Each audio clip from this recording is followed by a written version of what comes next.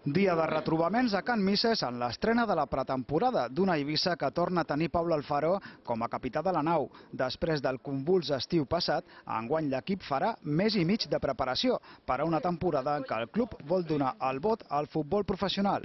¿Masa presión? No, no, no, no, no, presión, presión en absoluto, para nada. Aprender de todo lo que el año pasado pues, pues, pues tenemos que mejorar y tenemos que aprender, ¿no? De situaciones que a lo mejor tuvimos una, una carga extra de presión que este año no vamos a asumir desde el principio, porque no lo vamos a hacer. Després de la seva exòtica aventura al grup 4 de segona B, ara tocarà tornar a fer molts de quilòmetres al grup 1. Es algo que no dependía de nosotros, con lo cual eh, al final tienes que aceptar dónde estás, ¿no? Es un grupo con filiales potentes, de equipos muy grandes, es un grupo con históricos también y bueno, va a ser un grupo, nosotros también estamos, eh, nos tendremos que adaptar rápido.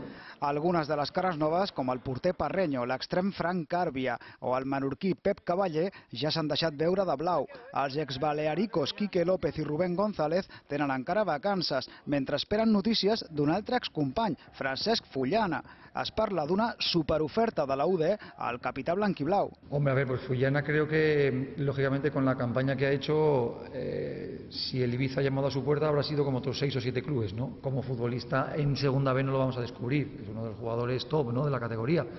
Y, y él tendrá que decidir su futuro, lógicamente, si no lo ha hecho ya, ¿no? Entonces ahí, ahí está. Igual que, nos, que nosotros nos hemos fijado en él, pues sí, es cierto. Seria el tercer balearico que canvia d'illa, una fixació especial. Robar no, robar no. Hemos firmado a dos jugadores de Baleares, es verdad, están, están, han firmado ya, porque los jugadores han querido y porque nosotros también y porque quedaban libres.